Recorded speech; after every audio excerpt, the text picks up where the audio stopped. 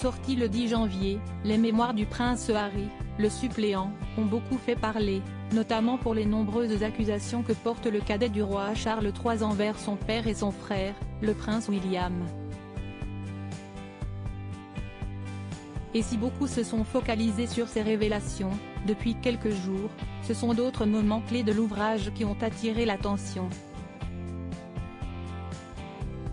En effet, page 6 a révélé ce mardi 21 mars que le duc de Sussex pourrait être privé de son droit de vivre aux États-Unis. La raison? Il a beaucoup parlé de sa consommation passée de drogue dans son autobiographie.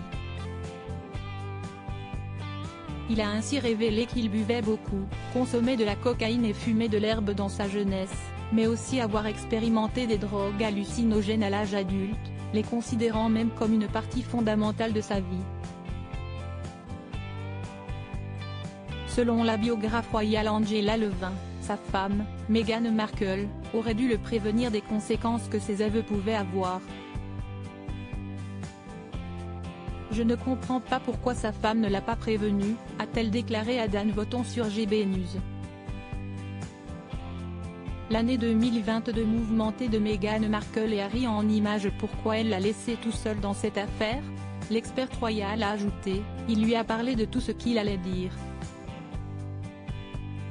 Elle est responsable dans ce couple, comme nous le savons tous les deux. Et elle ne lui a pas dit fais attention, car si tu parles trop de la drogue, tu risques d'avoir des problèmes. Elle s'est aussi demandé pourquoi elle l'a laissé tout seul dans cette affaire. Le prince Harry avait révélé avoir été envoyé dans un centre de désintoxication à l'âge de 17 ans par son père, le roi Charles III, après avoir admis qu'il fumait de la marijuana.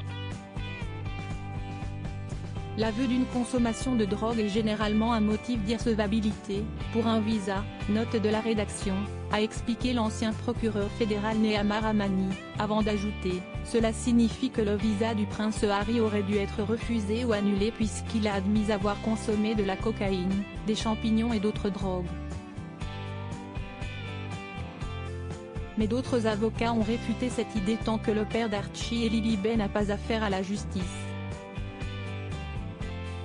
Un avocat spécialisé dans les questions d'immigration a, lui, déclaré à page 6 que si le frère du prince William devait avoir des problèmes juridiques, la duchesse de Sussex pourrait parrainer son mari pour lui permettre de rester sur le sol américain.